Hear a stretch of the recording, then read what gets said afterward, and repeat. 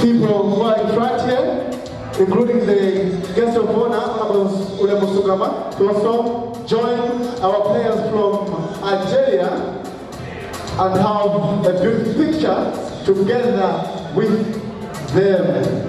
So one of the exciting moments I said earlier on, ladies and gentlemen. We are here to celebrate this game. We are here Instead still have left hands.